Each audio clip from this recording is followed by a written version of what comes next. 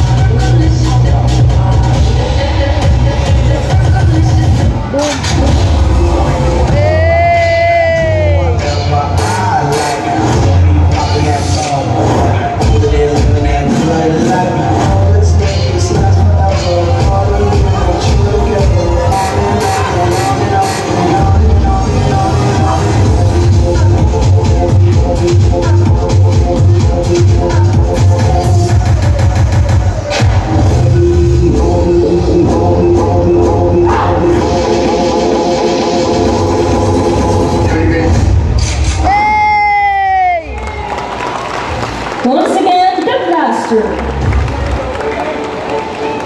Once again, we would like to remind